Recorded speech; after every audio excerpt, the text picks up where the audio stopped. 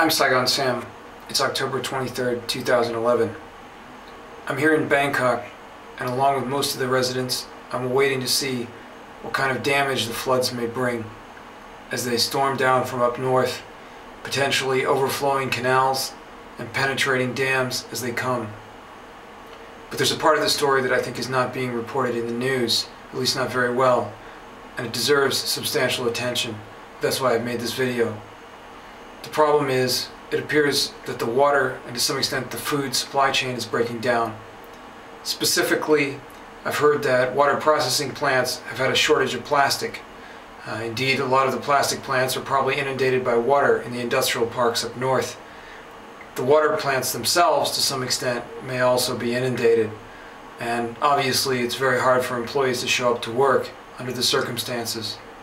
To make matters worse, transportation routes into Bangkok are highly disrupted, whether it's by floodwaters or by people who have decided to park their cars two and three cars deep along the highways in an effort to protect their personal property to the detriment of this great city's transportation networks.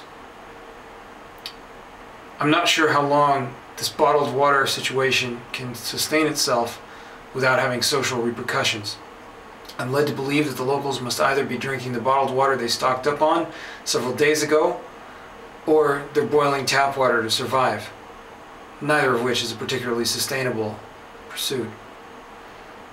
I will say that uh, as of today I measured the water quality coming out of the tap, and it's normal as far as conductivity is concerned at just over 200 microsiemens. So far so good to the Metropolitan Waterworks Authority. I do hope they can keep up this defense against the onslaught of toxic waters coming down from the north. But it's not an easy task, especially considering that the canals are now overflowing in some cases, and a few days ago the Rangsit Dam apparently ruptured, flooding a lot of the area in the north of Bangkok.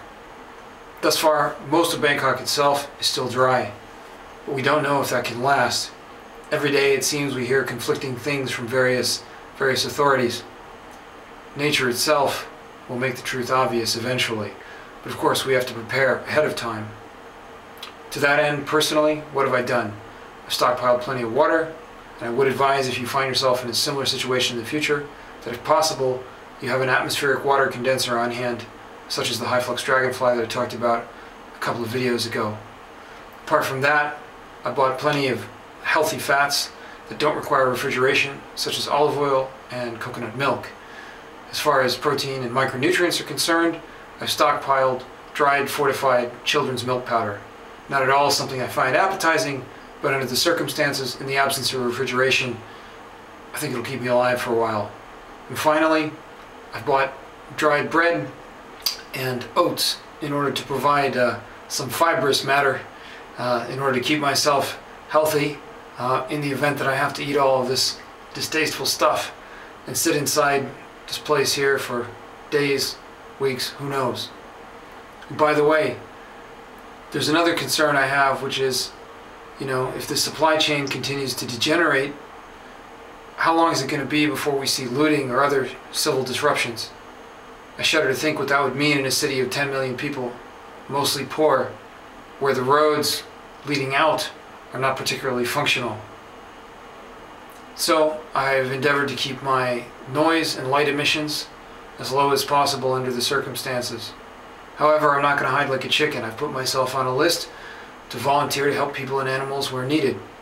Oddly enough, though, after a day, I haven't been called.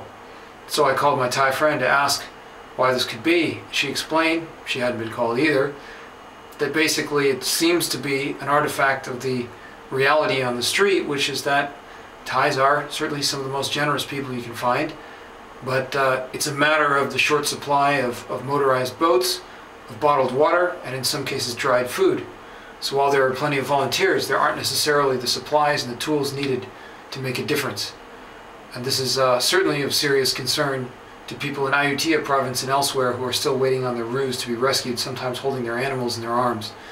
It's a very difficult situation.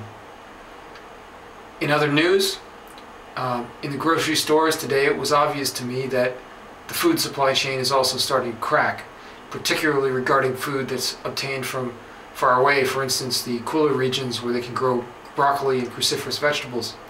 Broccoli, for one, is in short supply. Potatoes, I couldn't find any. Eggs, also couldn't find any, because obviously they're very nutritious and they pretty much keep without refrigeration.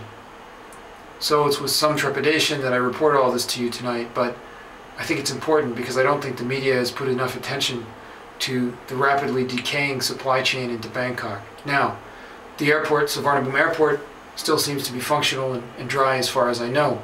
So I would imagine that if you're in the business of supplying motorized boats or dried food or certainly bottled water, that you ought to get in touch with the right authorities or grocery store and see if you can do business. I think it would greatly help the country and I'm sure you'd find a market here. But there's not much time to act. Talk to you later.